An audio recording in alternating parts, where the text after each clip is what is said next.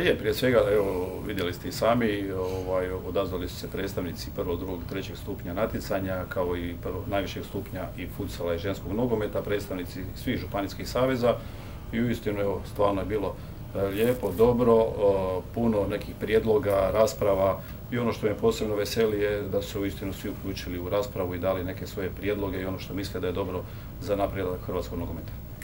Najbitnije je da smo sudjelovali svi u raspravama, naravno da će se napraviti sad jedan rezime svega onih prijedloga i svega onog što je potrebno i naravno da ćemo to primijeniti u naše pravilnike i sve ono, ajmo reći o temama koje su bili od samog natjecanja, prevencije, sigurnosti, registracije igrača i svega onog o čemu se raspravljalo, tako da evo sad ćemo u Savezu sa suradnicima napraviti rezime svega, prijedloga i ostaloga i naravno ovaj, to i primijeniti u, ovoga praksi. Pa dobro, posebno ovo je općenito pričanje kao pitanju sigurnost, tako da evo ne izdvajamo utakmicu od utakmice, ali ovo su neke stvari koje o čemu smo raspravljali i što bi klubovi sami trebali raditi, naravno i sa svojim navijačima i naravno mi kao krovna organizacija.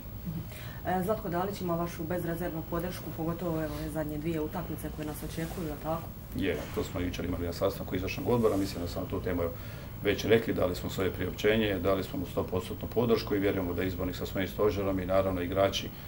da mogu napraviti to i da mogu osigurati europsko prvenstvo. Kako sam rekao, nisu mjesec dana niti oni zaboravili igrat, niti je izbornik sa stožerom zaboravio na koji način se vodi ekipa i trenira. Tako da, evo, vidjeli smo volju, želju,